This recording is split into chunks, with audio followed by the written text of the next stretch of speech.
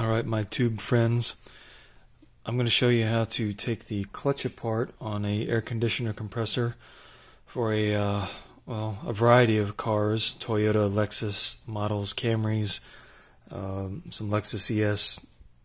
Well, here. I know it's going to be at least these cars. Um, I also think it's some of the Land Rovers, some of the 4Runners. any of the Toyota cars of this vintage uh, and past that, um, probably down from the late 90s all the way up to the late 2000s, uh, this should apply. Uh, the compressors um, seem to last a long time. The clutches maybe not quite as long. Um, if you have a blinking light, your AC light when you turn it on, it's usually an indicator that the electromagnet inside here has gone bad or uh, some kind of problem with it. Um, so what you do, and of course I've got this one off the car, so this is easy to see. It's easy for me to tear it down for you, but uh, we'll, we'll, if I can, we'll cover this on how to do it inside the car later. But uh, the first thing you're going to need to do is to take this bolt out of the center that holds the, the clutch disc together. It's a got a 10 millimeter head on it. I've already got this one out. I use my trusty DeWalt Impact to uh, rip that thing loose get her out, and then what you're going to be faced with here is getting this disc off of the compressor. Um, so you can there's a variety of the uh, you know the uh, the pullers that you can put on here, AC pullers. Maybe you can use a harmonic balancer uh, puller set on or something like that. Or um, what you can do is you this bolt is uh, you know, I don't know what the threads are on it. I'm not exactly sure what the size is, but this actually threads down into the the shaft on the compressor. This disc actually has a bit larger hole on the outside of it, and it's threaded as well. That will take a slightly larger bolt, and if you're lucky, you can do this. You can take a uh, size larger bolt, and you can thread it where it goes into this disc and then it's going to push against that shaft and it's going to pop this disc off of that shaft. And I've already done this once. I don't know if I can do it by hand or not. Oh, yeah, it's gonna. It'll pop right off of here. Okay, so you can see the splines. And when you take this off, um, I don't know if I can show it to you in here or not it might be easier if I just take the bolt out. There are a lot of times, oh, there you can see it right down there in the center. Uh, that's not the bottom of that uh, that spline hole. That's actually a washer or a shim uh, that will space these discs apart. When you take this disc off, be very, very careful to um, watch and see if any of those fall out. If they do, you need to you need to recover them. If you can, if you use the bolt like I did, they'll usually stay on until you take that bolt out.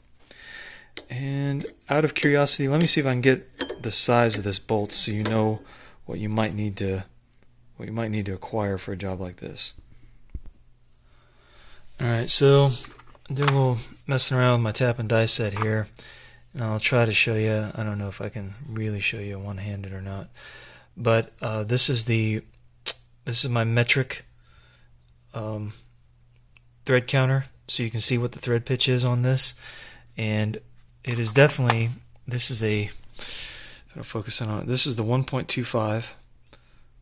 Can we get it there? Not really. There you can kind of see. There we go. 1.25. And it matches up perfectly with the threads on here. Absolutely perfectly.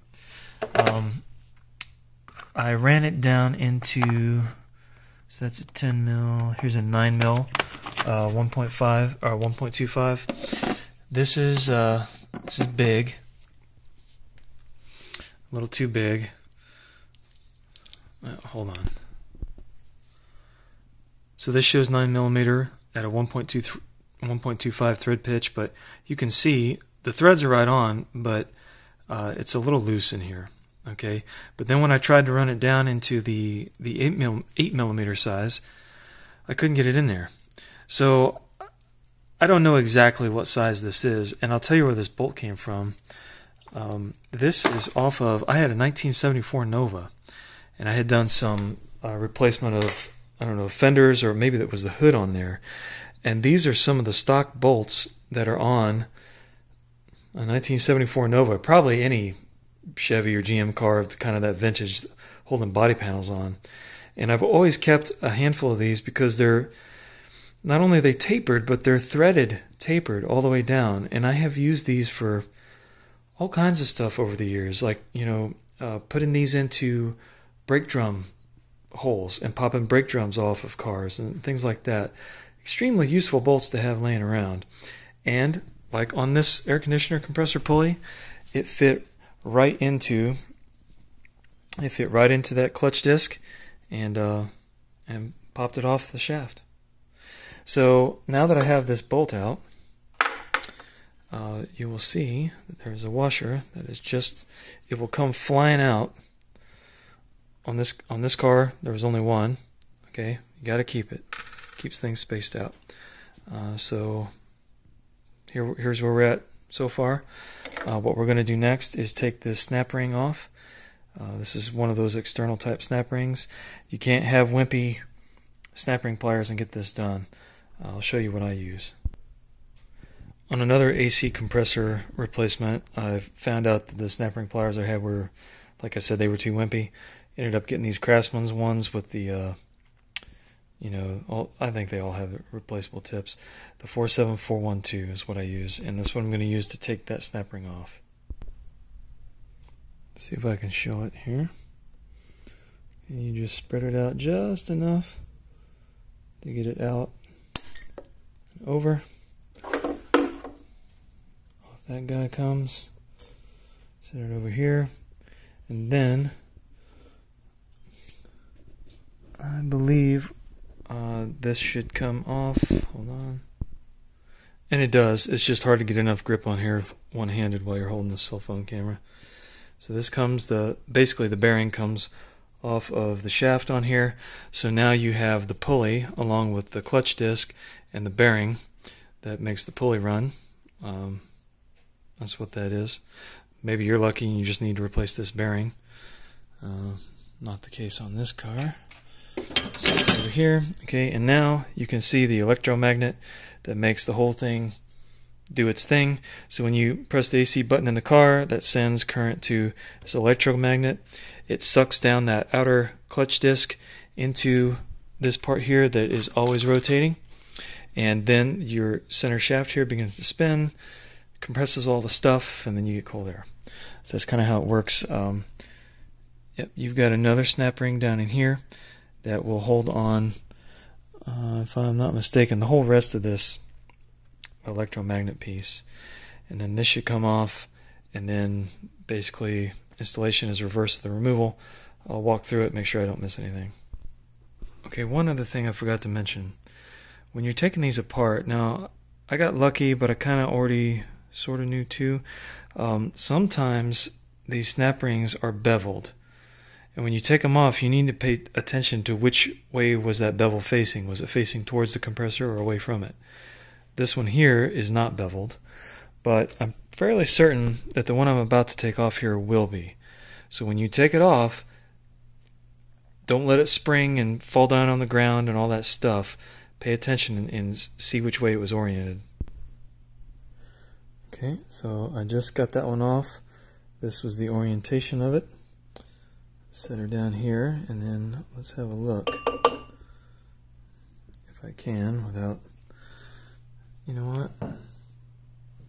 I'll just do her this way.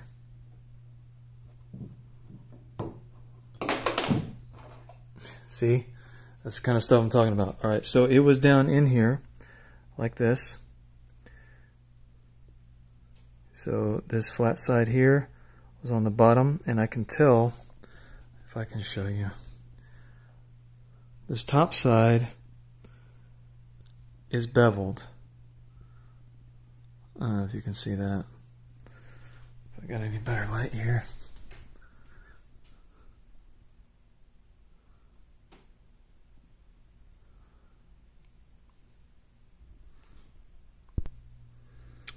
So this is about as good as it gets. Um, hopefully this is showing up. I can't really tell, but this is not exactly flat here. On the bottom it is. It's absolutely flat on the bottom. So the way that you want this to go on is you want the flat side towards the compressor and you want this beveled side um, away from it because that beveled side actually goes up under in this groove here. Okay, so that's and that's the way I remember uh, the other ones that I've done being oriented too. Once you get that, see this guy just that's it. It's the end of the end of the game here. You got your electrical connector down here. You need to you need to undo, and then you slap all your new pieces on. And uh, it's it's as simple as that. If the clutch or the magnet is your problem or the bearing. Um, you don't need to take off any lines or pay any high bills or anything like that with getting your AC fixed. That's uh, that's how you do it. So uh, I'm going to make another video in in uh, succession to this, and I'm going to try to show you how to do this when the compressor is on the car, if if I can. Um, it's going to be a 2002 Lexus ES300, and I believe the steps I'm going to use on there, you know, take off the serpentine and whatever crap's in the way, alternator will have to come off. There are four mount bolts. Here you can see uh, that hold these compressors on, two and four. Uh, take those out, and then you should have. I'm making assumptions here, folks. You should have enough swing in the rubber part of the uh, of the pressure lines to get this thing oriented to where you can get this bolt out and get all this stuff off. So we'll see. If I'm wrong, it won't be the first time. Anyway, thank you for watching. Uh, this will apply to many, many different types of compressors. Uh, pretty much, probably except for GM, and they they do hard things. If you have any questions, let me know, and uh, I will do my best to help. Thank you.